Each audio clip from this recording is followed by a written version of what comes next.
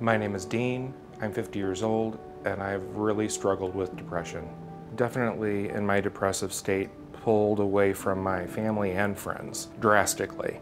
Didn't call them, didn't text them. Even when they tried to set up things, I would make up different excuses just to not hang out with them and it began to affect my work to where I didn't want to work anymore because all I wanted to do was stay at home and sleep. I really didn't think, knowing how depressed I was, that anything would bring me out of the depression that I was in.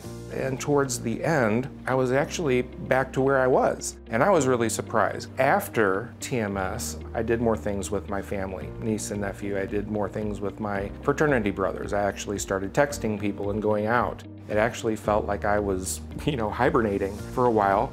It really has turned my life around. Now my life is so much better and I'm so much happier thanks to TMS.